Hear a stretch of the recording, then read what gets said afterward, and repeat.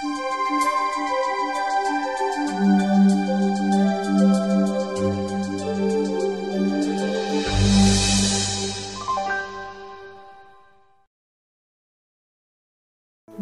Kota Harapan berjuta kesan.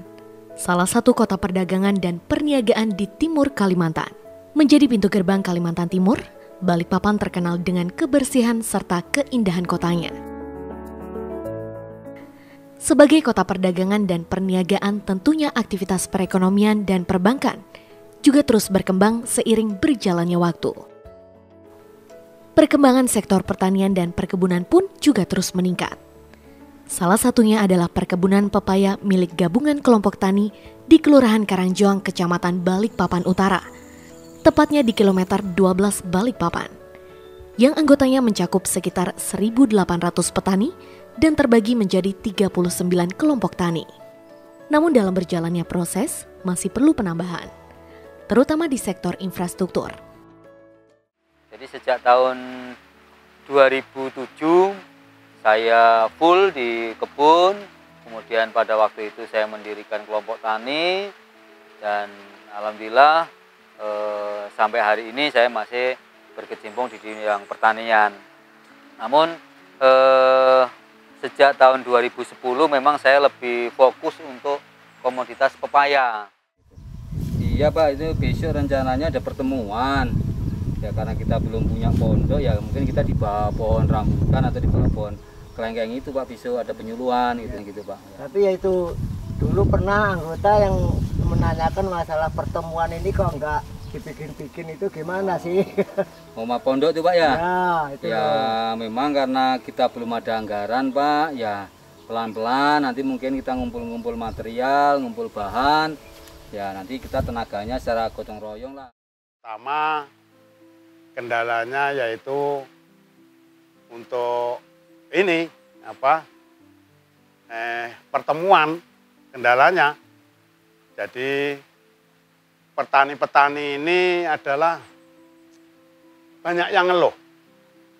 Sehingga kalau saya punya pandangan itu ya sangat sekali lah mengharapkan bantuan mas.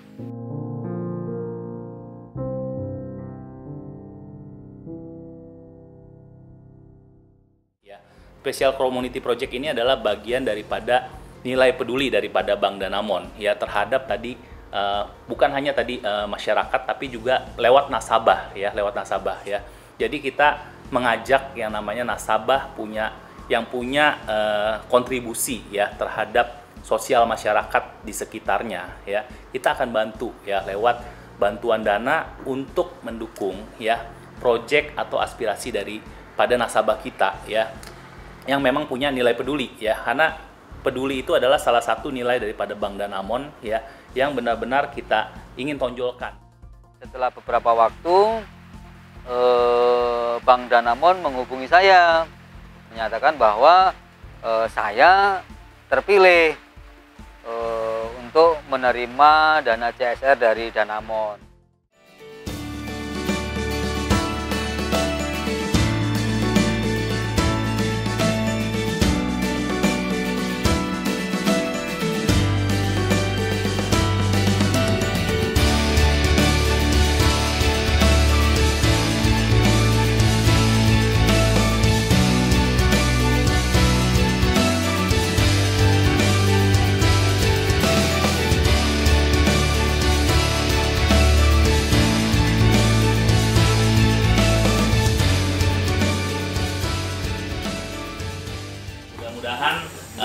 Spesial community project yang kami lakukan ini tidak sia-sia Pak ya bisa berkelanjutan juga secara kontinu ya mungkin dari tahun ke tahun karena ini merupakan bagian daripada uh, apa yang memang Bang Danamon selalu uh, coba lakukan.